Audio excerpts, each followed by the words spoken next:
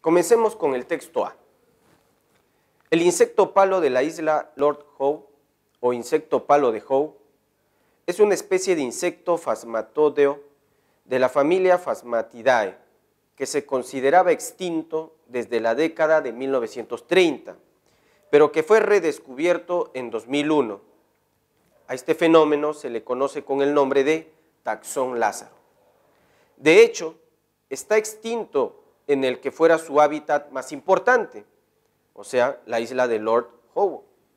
Y solo se conoce una pequeña colonia de menos de 30 miembros en el pequeño islote de la pirámide de Bol, motivo por el cual se le ha llamado el insecto más raro del mundo. Entonces, ¿qué encontramos en esta lectura en el texto A? En el texto A encontramos a un insecto muy extraño, el insecto palo. ¿Y qué se ha predicado en el texto sobre el insecto palo? Se ha mencionado que es una especie de insecto fasmatodeo, insecto fasmatodeo.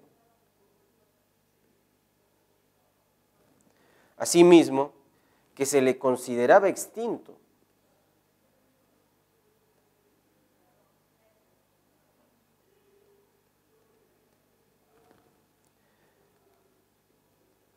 Desde la década de 1930. ¿Qué más se ha predicado? Que se le ha redescubierto, ¿no? hay un redescubrimiento de este insecto.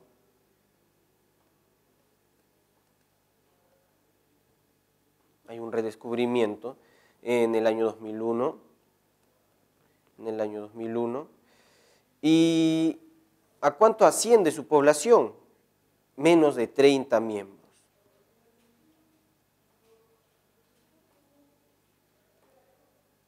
Menos de 30 miembros. Por todas estas razones es el insecto más extraño del mundo.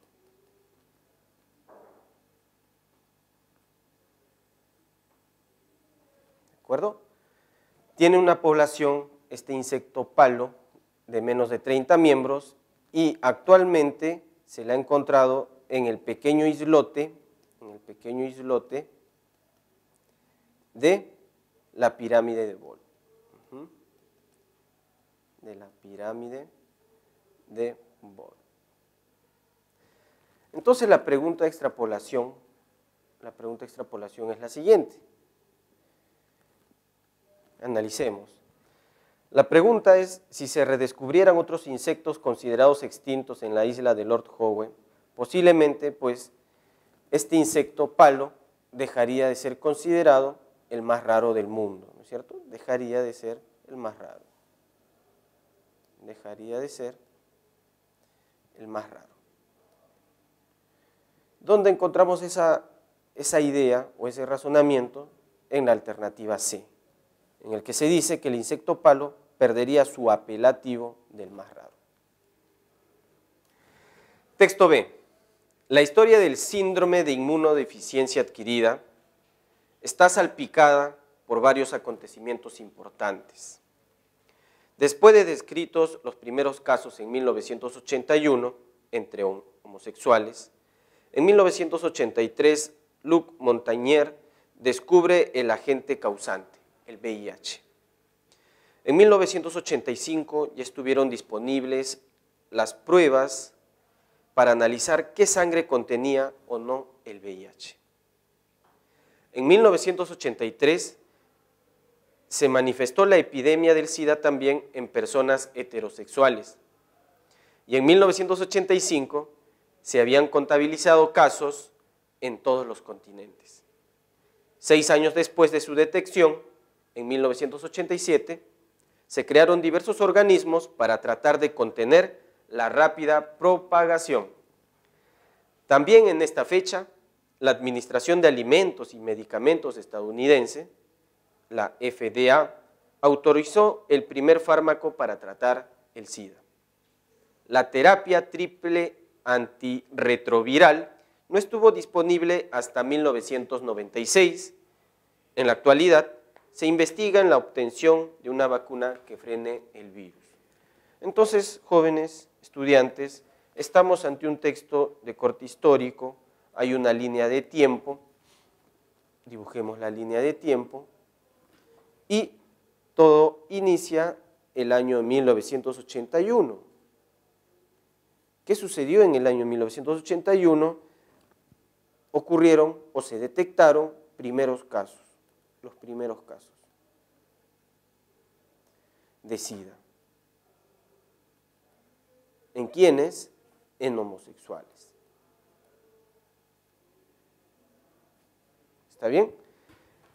Dos años después, en 1983, un personaje llamado Luc Montagnier, Luc, simplemente lo vamos a llamar, descubre el agente, el VIH.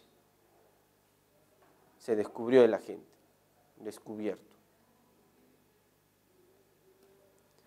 Seguimos, en el año de 1985, en el año de 1985, ya estuvieron disponibles pruebas, disponibilidad de pruebas.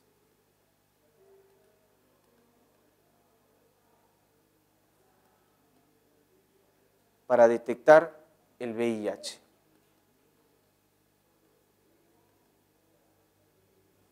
Para detectar VIH de la sangre.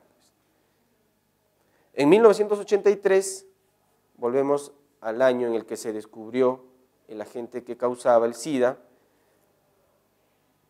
los heterosexuales también demostraron que pueden ser víctimas de aquella enfermedad, de aquella dolencia, no solamente los homosexuales.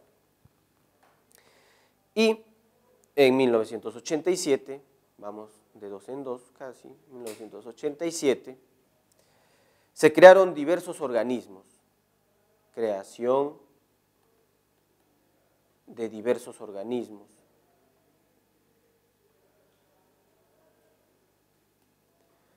con la finalidad para frenar la rápida propagación.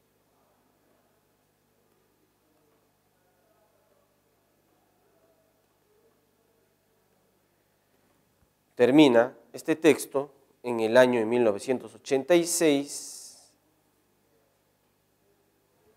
perdón, el año de 1996, 1996, cuando ya se dispone del retroviral. ¿Está bien? Eso es básicamente lo que podemos encontrar en la lectura y la pregunta extrapolación es la siguiente. Dice así, si se hubiera descubierto una cura contra el SIDA antes de 1987, antes, o sea, más o menos en esta línea verde que estoy dibujando, o sea, en esta época, si ya se hubiera descubierto la cura, ¿qué consecuencia inmediata hubiera ocurrido? Pues este año de 1987 sería diferente. Allí, simplemente, la creación de estos diversos organismos no hubiera tenido razón de ser.